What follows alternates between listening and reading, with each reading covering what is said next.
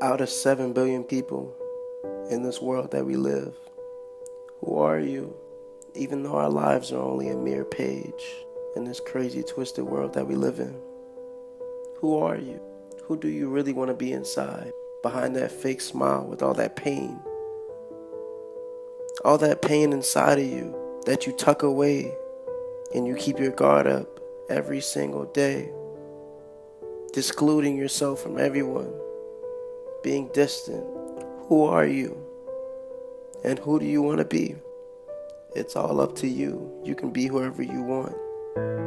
One out of seven billion. Start living today because tomorrow isn't promised. Be who you are. And don't worry about the others. When you be yourself, it shows. And no one can take that from you.